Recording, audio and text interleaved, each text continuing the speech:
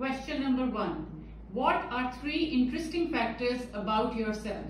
I like to get up early in the morning. I like to play the piano and I do not like Legos. Question number two.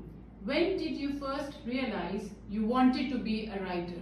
Well, I never did. My mother asked me to write a book and after a little bit of perseverance from her side, I gave in. Question number three. When did you write your first book and how old were you? This book, Deadlier Than a Pandemic, is my first book. I wrote it when I was 11 and it was published when I was 12. Question number four. What do you like to do when you are not writing? When I'm not writing, I'm usually studying, doing my homework, just the usual.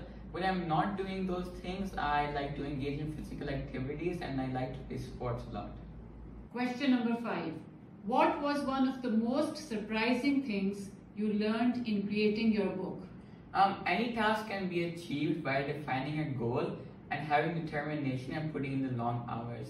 In short, when going gets tough, the tough gets going. Question number six. How many books have you written? Um, Deadlier Than a Pandemic is my first book, and inshallah, I will write more books in the future. Question number seven.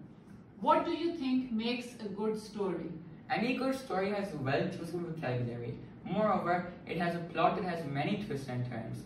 It is succinct and it keeps the readers hooked. I have tried to instill these qualities into my own book. Question number eight. As a child, what do you want to do when you grow up? I aspire to become a professional sports player or an investment banker. Question number nine. How long did it take you to write your first novel? It took me around 10 months to write my first novel, and each day I invested 3 to 4 hours of my time. I thought it would take longer, but once I got the hang of it, it got easy. Question number 10. What advice would you like to give to aspiring authors? I would like to tell them that they should never give up. Whenever I faced writer's block or something like that, I always persevered, and that has proved very, very beneficial. For now, something that I thought was impossible is reality. Question number 11. What inspired you to write your book? In lockdown, I was not using my time productively, so my mother told me to write a book. Um, at first, I was taken aback, but eventually I started writing the book. Throughout the process, my family members supported me, and that is what helped me push through the tough times. Question number 12. Can you tell me about the book? It is about a Russian boy who gets abducted by the Ukrainians at the start of the war. He is eventually rescued, but then he is falsely imprisoned and mistreated. However, he miraculously escapes to Alaska, where he becomes the general of the army. I will not tell you any more about the book because I want you to read it and I don't want to spoil it. Question number 13. What did you learn when writing the book? I learned that it's a very tedious job and requires a lot of dedication and support.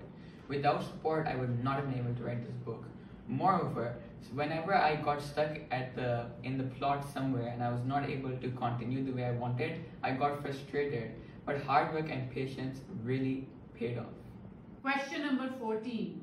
What surprised you the most? What surprised me the most is when I finished this book, and that's because I never believed that I could achieve a feat like this. The happiest moment for me was seeing the book in my own hand and seeing my parents very happy.